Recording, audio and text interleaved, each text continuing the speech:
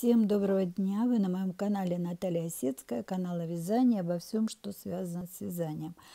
Я уже, э, э, вернее, за вчерашний день, я сегодня выпустила видео, сейчас оно будет на канале, грузится. И поэтому я ничего не буду показывать, чем я вчера занималась. И только единственное скажу, что это диван, я снимаю на диване, потому что у меня произошла очередная неприятность. Вчера тоже был не мой день. Видите, я сломала вот эту штуку. Телефон у меня не держится. А я заказала новый. 12 числа мне придет новая лампа. Ну вот пока буду снимать с руки и пока вот так вот. Значит, э, сегодня, сегодня у нас воскресенье, сегодня будет итоговый день нашего совместного проекта «Выбор без выбора». И я сейчас уже есть задание, я включу, э, поставлю вам видео новое. Это а, задание заним, э, задавала Татьяна, ее канал «Татьяна, люблю вязать и не только». Мы посмотрим, а потом я расскажу, чем я буду сегодня заниматься. Всем добрый день, всем здравствуйте. С вами Татьяна и мой канал Татьяна Люблю вязать и не только. И сегодня моя очередь бросать кубики и задавать вопрос в совместном проекте «Выбор без выбора 3». Итак, мой вопрос. А где вы предпочитаете покупать пряжу, фурнитуру и инструменты?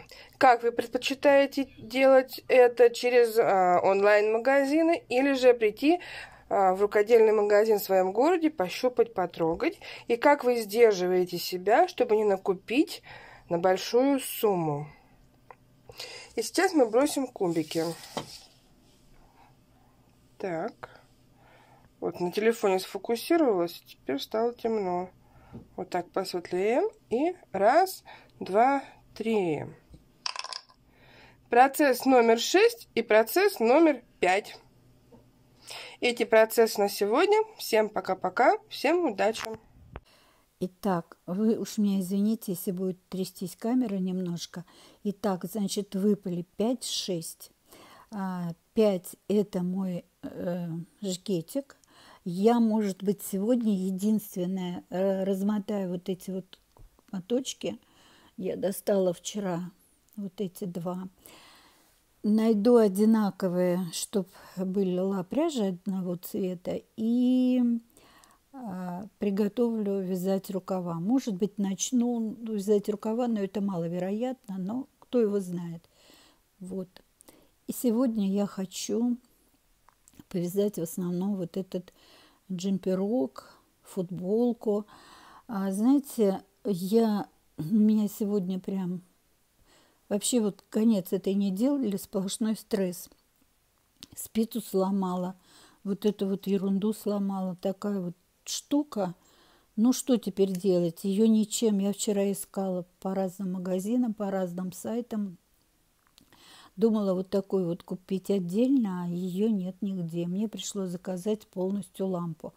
Но, слава богу, я заказала, и 12 числа я получу лампу и заберу спицы. Они в одном месте я заказывала, все нормально. Вот. И я получу 12 а до 12 буду вот так мучиться, страдать. Сегодня я хочу повязать в основном такой, знаете, вот, эту, вот этот джемпер, потому что я здесь провяжу еще два или три ряда до конца рапорта и отделю рукава тела и буду вязать тело. Вот это вот э, лицевая гладь монотонная. Мне хочется просто спокойно, чтобы меня никто не трогал, никто не дергал, ни на что не смотреть, просто монотонно посидеть. И буду сидеть сегодня монотонно вязать. Сегодня мне никуда не нужно идти. Э, единственное, придет дочь с зятем. Они вчера забыли у меня телефон. Вот, придут сегодня заберут и все, и я буду тихо-тихо, выключу свет и буду тихо-тихо сидеть, чтобы меня никто не трогал, никто не дергал. Вот просто хочется, знаете, наверное, наверное, я просто устала. Я живу сейчас в такой обстановке, когда все раскидано, все, в общем, порядка нет, а, потому что, ну, потому что сейчас пока Я еще не закончила все дела свои по квартире. Но это временное явление, и я сегодня тихонечко, монотоненько посижу и повяжу. Вот. И хочу сейчас ответить на вопрос, э, который задала Татьяна, а вопрос я еще раз озвучу. Как вы покупаете, где вы покупаете пряжу и как сдержите себя, чтобы не купить на большую сумму? Знаете, э, пряжу, где я покупаю? Я пряжу покупаю на садоводе. Покупаю э, от 5000, там идет скидка оптовая. Вот я покупаю там. Еще есть один магазин, в котором тоже есть скидка от 5000. Она такая же точно по цене получается, как на садоводе. Но на садоводе больше значительно а, пряжи, той, которая, допустим, вот Нака в этом магазине нет. Фибра натуры в этом магазине нет. В этом магазине только из Турции – Ернард, Ализе, Мэджик. А что еще? Есть, по-моему, Вита, я не помню. По-моему, Вита еще. Но совсем очень немного. И на российской пряже это Семеновская, Троицкая, Пехорка, Лама – Наверное, все. И как-то я была на складе, я покупала для детского пледика пуфи, и э, не было цвета, я оплатила и пошла на склад из магазина. Там они прям буквально рядышком. И на складе говорю, вот вы бы еще НАКа завезли. Она говорит, зачем? Мы с этим не знаем, как у нас как бы берут хорошо, еще мы какой-то будем добавлять, нам это не надо. Ну вот, поэтому я когда, ну вот и там, и там покупаю. Если бы это было все в одном месте, конечно, мне удобнее было там заказать, а, по интернету заказал, и тебе доставили. У них есть ДЭК доставка, есть доставка до подъезда, есть почтовая доставка. А вот на садоводе доставки нет никакой, приходится самой ездить. Ну, а если мне нужно взять не упаковку, да, но там и там надо брать упаковками. А, в принципе, можно в магазине купить э, не, не упаковку, а несколько моточков, но там получается значительно дороже, хотя этим я тоже пользуюсь. Но последнее время я э, несколько раз заказывала в интернете, допустим, мне нужен только моточек, и ехать туда в магазин через весь город мне не хочется – я заказывала в интернете, но получается очень дорогая доставка. Да, кстати, вот пряжа РФ, там, по-моему, доставка самая, ну вот на мой взгляд, самая дешевая. Но опять же, если моточек а, пряжи стоит а, 150 рублей, а доставка 199, ну 200 рублей, да, ну как бы вот Поэтому я стараюсь брать, э, если по одному мотку я смотрю, что мне нужно, и стараюсь брать, конечно, побольше. Как я сдерживаю себя, знаете, раньше вообще не могла никак сдерживать. Раньше нужно было, не нужно, я приходила и искупала. Я, я покупала и клала, покупала и клала. Это мне доставляло такое удовольствие, просто счастье. А вот сейчас, поучаствовав э, с Аней Полозняк в ликвидации. Потом я с Викторией Цой была в хомяке, там, где было нельзя покупать. И я как-то стала относиться, знаете, ну вот думать немножко, включать мозги. Я недавно была э, в одном месте, и заш... там недалеко, ну, на следующей станции метро, магазин пряжи. И я помчалась туда. Пряжа не дешевая, не, деш... не дешевая, получается, ну, значительно дороже, допустим, чем вот в пряже РФ. Но, допустим, я купила на газал, газал э, Бэби у них стоил он 125 рублей, а в интернет-магазине вот пряжный РФ стоит он, по-моему, то ли 101, то ли 95, вот что-то такое. Вот. Я когда туда пришла, там стены все завешены от потолка до пола пряжи. И мне захотелось остаться там жить. Но от того, что у меня разбежались глаза, я не знала, что взять. Я вот взяла по, по два моточка разного цвета и бегом оттуда улетела. Но я поняла, что я туда больше не пойду. Конечно, удобнее пряжу заказывать в интернете, ту, которую знаешь, а, то, которое много слышал, читал, щупал. Ну, вообще я люблю пощупать руками. Но э, я для себя решила, что, наверное, я мне лучше заказывать в интернете. Мне вообще лучше все заказывать в интернете. Я точно так же заказываю продукты в интернете, потому что идешь за булкой хлеба, а тащишь целую сумку.